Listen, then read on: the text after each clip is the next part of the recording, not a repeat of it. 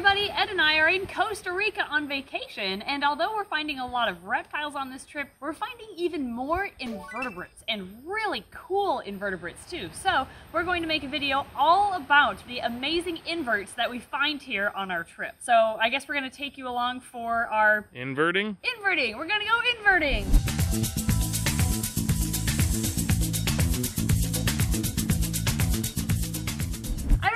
All we're going to find here near the beach, but we're going to look around and just see what shows up. Some might be a surprise, some might be kind of everywhere like we've been seeing already, but let's go inverting!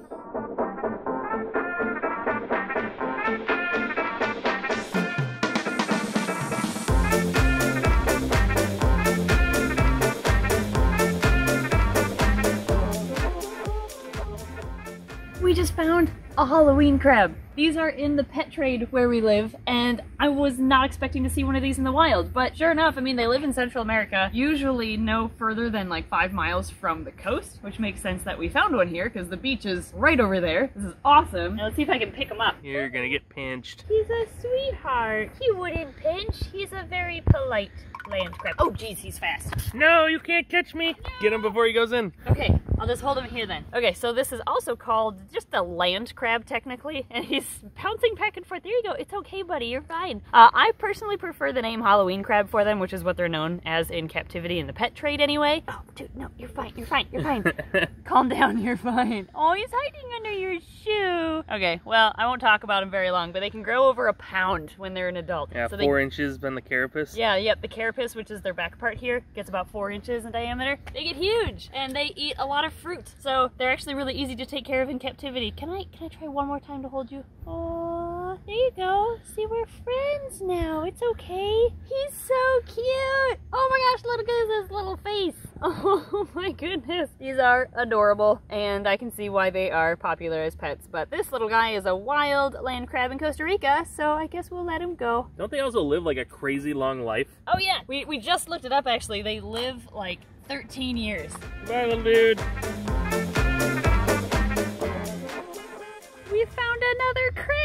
Crab. Aw, he loves you though. He doesn't want to go. You don't want to climb Aw. off. You're super cute. Oh, that ant has a whole flower. Oh, that one does too. Oh, they're gonna make a bouquet. I must bring my girlfriend this beautiful flower and ask for her hand in marriage.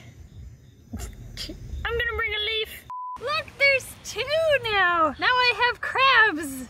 Oh wait, that came out wrong.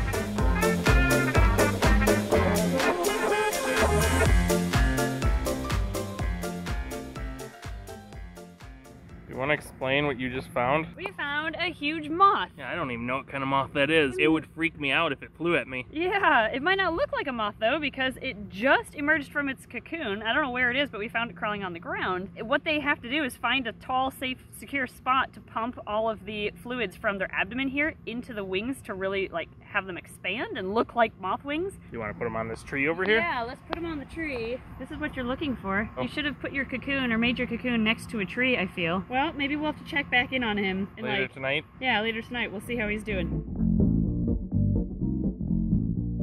All right, it's been like 40 minutes. Aw, hey Wow. Jerry, you're looking good. Those wings are coming out nice. I still don't know what species of moth this is. Like maybe giant silk moth or something. It's gotta be a moth because of those antennae look kind of fuzzy. I Do don't. you have a spot at all? Yeah, we'll have to wait till the wings fully develop before I can identify it, I think. We'll check back on you later, Jerry.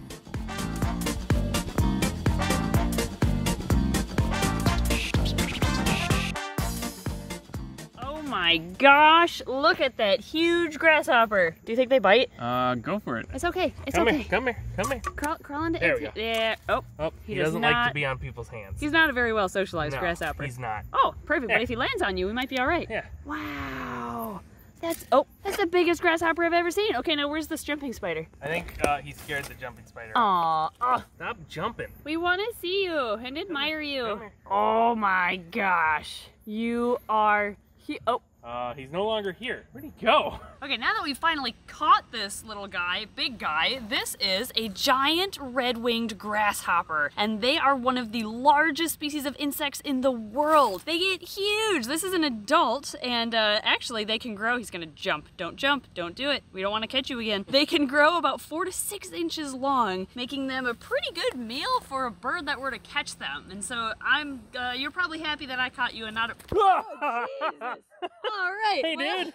He's like, How you doing? he just kind of did an erratic, you know, figure eight type thing and eventually crashed into Ed. Yeah. That worked out well for us. Great. That I love you too, Ben. We were having a moment while we were trying to find a good spot to film. Yeah, yeah, and here he is. So yeah, like I was saying, they're a huge insect and they're beautiful as adults, but in my opinion, even prettier when they're juveniles. Before they reach their final molt into adulthood, they're black and yellow, and the contrast is just amazing. They look like bumblebees mixed with a grasshopper. These bright colors as juveniles make them look dangerous, because you know bright colors usually means I'm either venomous or poisonous, or I just taste bad, so you should leave me alone. And then as adults, when they have more of this cryptic coloration or more of a camouflage into their backgrounds, they have actually, at this point, developed a different defense mechanism. They have these huge spines on their back legs as adults that they use to kick their predators away with. They're So it's like, hiya. yeah, they're like ninja grasshoppers. He did kick us when we were trying to pick him up, and it does hurt. oh, there they are. There's those spines. Wow. That is so cool. I love this the pattern down his leg too. Yeah, that's really pretty. All these little spots. Yeah, he's got like a comb crown. Yeah, this reminds me of an iguana. Yeah. Like the spines behind their neck. Didn't something say that there's been hunters who have shot them by mistake because they think they're birds? Yeah, people think they're birds or bats when they're flying around, but they're just a really big bug. They have really pretty red wings as well. Yeah, they really do. They're called the giant red-winged grasshopper because underneath this outer layer of their wings, once it opens up, and I don't know how to make them open it up, but they have bright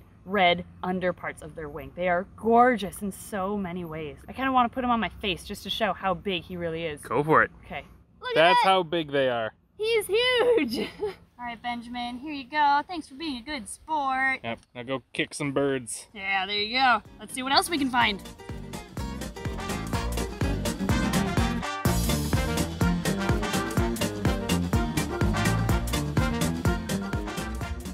Do know you have a butterfly on you, right? Yeah, he wants to hurt. Aww. He's joining us on You got, our we have a buddy. Yeah, hey buddy. Whoop. And now he does want to hurt. Jeffrey! What's up, home slice?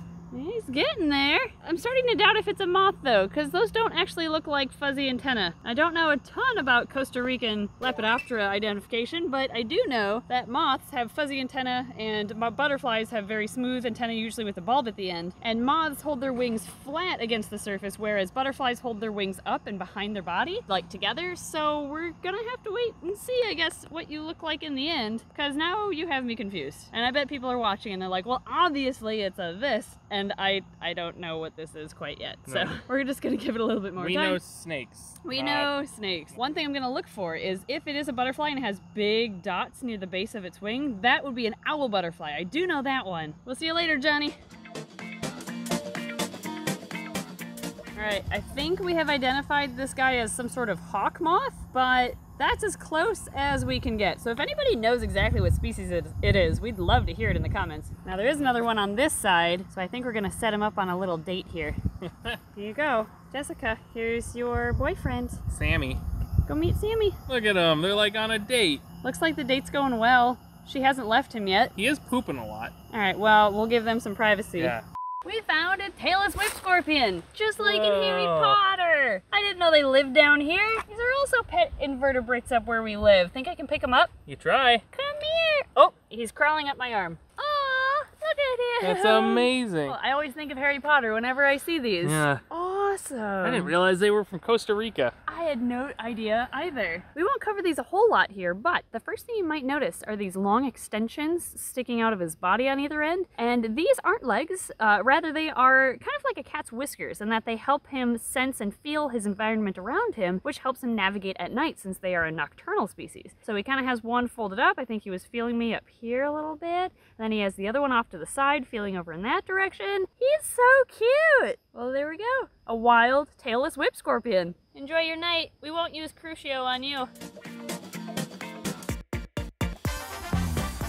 Oh, look! Oh, cool. There's hermit crabs. Wild hermit crabs! Ah, they're so cute! This is one of over I think about 500 species of hermit crab, although most of them live in the ocean. We're actually just walking along the beach. Can't see it because it's really dark. But only a few species of hermit crabs actually live on land, and this is one of them. And this is actually one of the types that is a very popular pet, actually, is the land hermit crab. Unfortunately, most hermit crabs in the pet trade are wild caught because it's very difficult to breed them in captivity. It's only been done a couple of times from what I understand. So if you get a pet hermit crab, chances are you are kind of supporting the wild caught trade. So if you're gonna do it, make sure you have an amazing setup for them, and they are kind of particular too, because these little guys breathe using modified gills, and those gills need high humidity levels in order to function properly. So that's why you need to maintain a high humidity in their environment. They also really like to move, so Yeah. I hear giving them a hamster wheel is good. Yeah, yeah, they love crawling on hamster wheels. That's right. These guys can live quite a while too. In the wild, I believe it's like seven to 10 years they can live, but in captivity, they can live like 15 to even 20. I think I've even heard of a story of one living to be about 40 years old. So these can be really long lived. They actually have two sets of antennae to help them feel around their environments. There's that central pair. Oh, and the longer ones are coming out on this guy. Please don't pinch me. Thank you. and they are omnivores. So they say that a healthy human diet is actually a healthy hermit crab diet. They'll eat meats and vegetables and fruits and just a variety is good for these little guys. They live really close to the shoreline of an ocean because they need shells for their homes. Unlike other species of crabs that actually develop their own or create their own shells, it's part of their body, hermit crabs need to live in somebody else's shell. Like this is not a part of his body. He just moved his little twisted soft abdomen into it. And as they grow, obviously this means they have to choose larger and larger shells to grow into. So maybe someday, little dude, you'll live in this shell. Um, one last thing about them though, if you have a pet hermit crab, don't buy the painted shells. Those often have toxic chemicals in the paint. Instead, just go with the natural shells. Well, that was awesome. We saw so many inverts here in Costa Rica. I think my favorite was the tailless whip scorpion. Which one was yours? Yeah, mine was either the grasshopper or the Halloween crabs. It was cool to see them in their like native habitats. That was really cool, yeah, because we see the Halloween crabs in the pet trade all the time. So to see them in the wild was amazing. That was awesome. So thank you everybody for watching this video. I hope you enjoyed it. Let us know what your favorite invert from today's video was in the comments below. And thank you as always to our wonderful Patreon backers, and we'll see you next time.